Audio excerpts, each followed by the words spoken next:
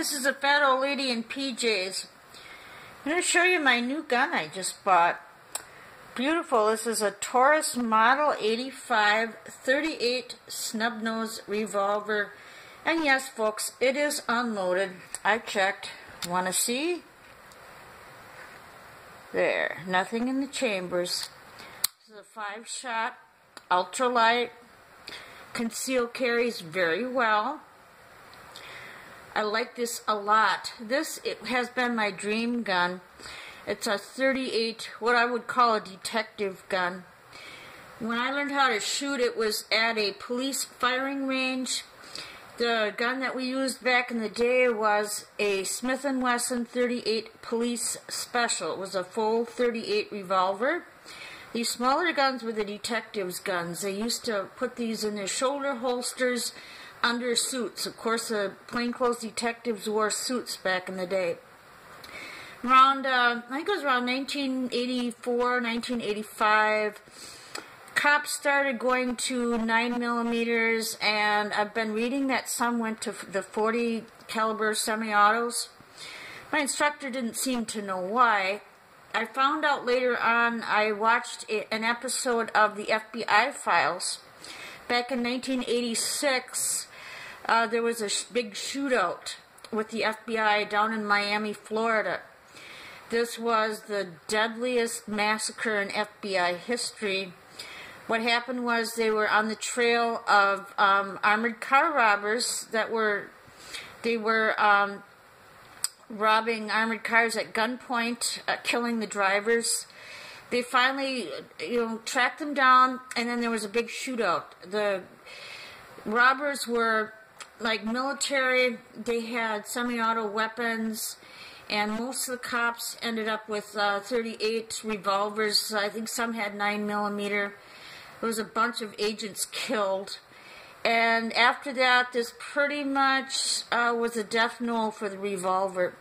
Cops started going to semi-autos back then. Of course, most of them, I think, use the 9 millimeters now. But if you ever wonder why they switched from the 38s that's why. It's kind of a little history lesson. I like this. The grips are, are, great. It's got like a Taurus bull on it. Uh, stainless steel here. It's just, uh, it, it's a beautiful gun. Don't hesitate to buy it.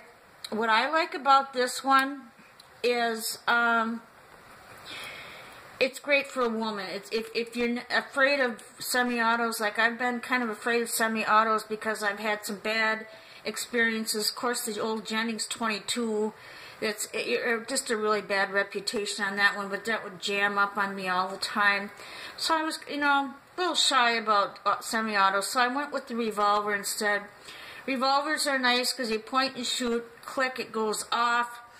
This, you, you want to get yourself one, you don't want to get a semi, a, a single action, you want to get it like a single double or a du double only because uh, of the trigger. The trigger pull is really heavy when you when you go to pull it. So you can have it fully loaded. If you want, really want to be safe, you can have one of the chambers empty, although that would only give you four bullets. I would recommend keeping it fully loaded.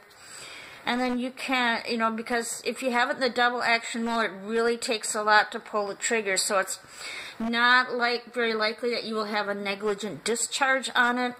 I have seen like a little plastic piece that goes in here, kind of a round plastic piece, uh, a guard, uh, available on Amazon for these. You can just um, put Taurus Model 85 uh, in the uh, su subject box at Amazon, and you can pick them up there. Just want to let you know what I picked up. I'll tell you, I feel a lot safer for having this. It's been 30 years probably since I've owned a gun or felt a need for it. With the, the changing times that we've got now, I just, I don't feel safe anymore.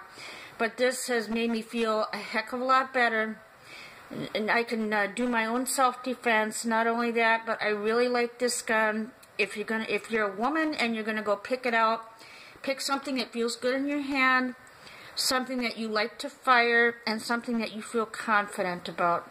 This is a fat old lady in PJs out.